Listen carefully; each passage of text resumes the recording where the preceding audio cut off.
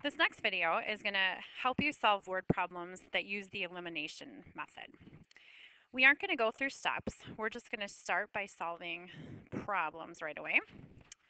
And so the first step is going to be, again, to define the variables. So if you read through the question, it says Jennifer and Matt went to the store to buy new pens and pencils for second semester. Those are going to be the two variables. Um, it says Jennifer bought six pens and four pencils for $28.94, and Matt bought five pens and three pencils for $23.40. The question is where you're going to look for the actual definition. It says how much did each pen and each pencil cost? So we have to be a little bit specific here. We're going to let X be the cost of a pen and Y be the cost of a pencil. You can't just write pens and pencils because we already know how many pens and pencils they bought. The unknown is really the cost, so make sure you have that in there. Now, I think when you're solving elimination problems, the equations, at least for this type of problem, tend to just jump out at you when you read the sentences. So if you go to that second sentence, it says Jennifer bought six pens and four pencils for a total of $28.94. So your equation should look like this, 6x plus 4y equals 2894. A lot of times your totals are what are going to go on one side of the equal sign. The next sentence, Matt bought five pens and three pencils for 2370. Again, it kind of just jumps out at you, 5x plus 3y equals 2370. Now this would be a mess to solve by substitution because we don't have any variables that have a coefficient of 1, but they are nicely lined up. They're both in standard form, so we can go ahead and solve by elimination. So let's drop out the y's. In order to do that, uh, let's multiply the top equation by negative 3 and the bottom equation by positive 4.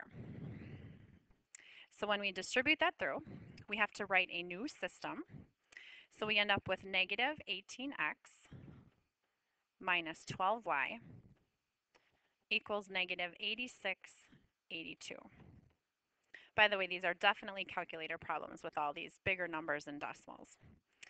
The second equation, when we distribute the 4, we're going to get 20x plus 12y equals 9480.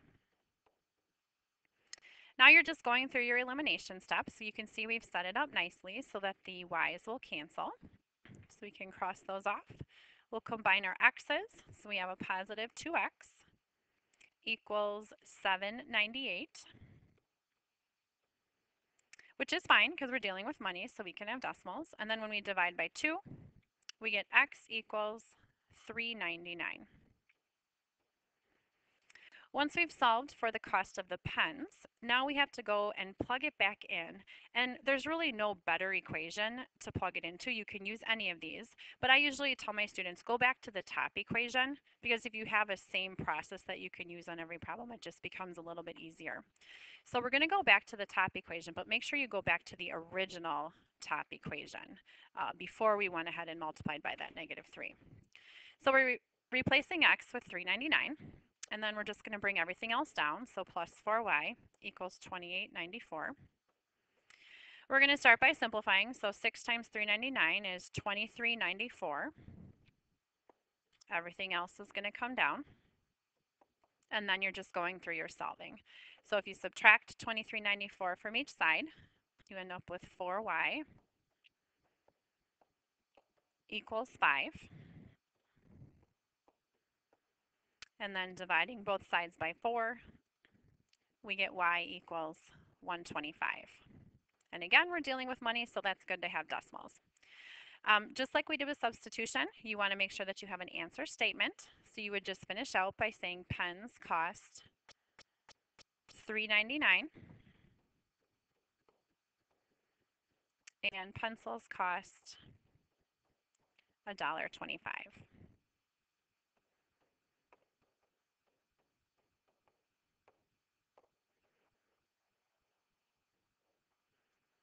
And our first problem is done. So in your homework assignment, you will have a number of problems that are going to kind of fit this form, um, where the equations just kind of jump out at you based on the sentences. The second one is slightly different. In this scenario, we have the Booster Club selling bags of popcorn and bottles of soda at a basketball game. it tells us the club sold a total of 165 items and made a total of $337.50. Now, if you look at the question, here's where you're going to determine what your variables will be. It says how many bags of popcorn and bottles of soda were sold. So for this, we're going to let X be bags of popcorn and Y be bottles of soda.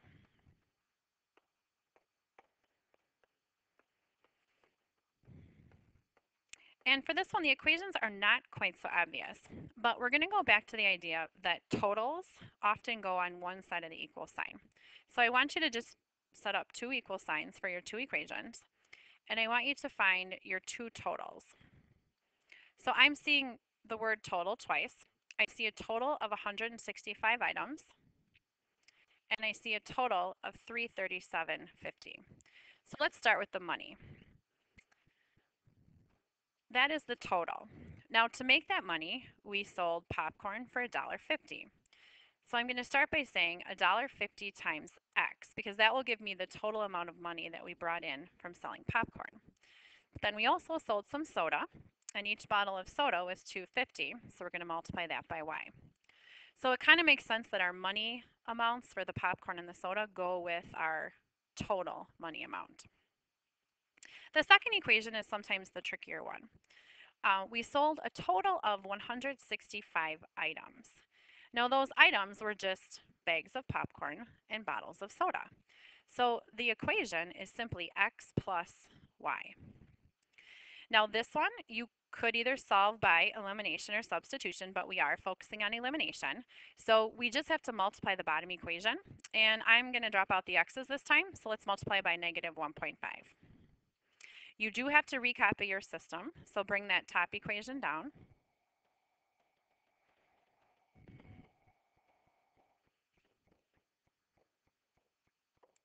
And then when you distribute the bottom one, you have negative 1.50x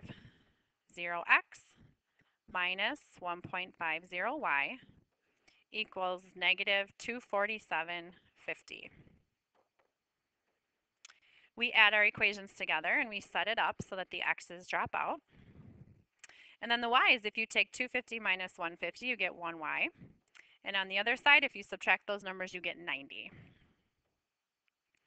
Now, I know I said on the last problem to go back to the top equation to plug it back into, but please don't. The bottom equation is so much easier. We have x plus y equals 165. So if you know you sold 165 items, and 90 of them were bottles of soda, all you have to do is subtract to get how many popcorn bags we sold. So subtract 90 from each side and then x is 75.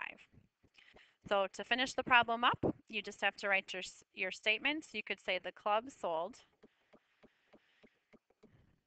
75 bags of popcorn and 90 bottles of soda.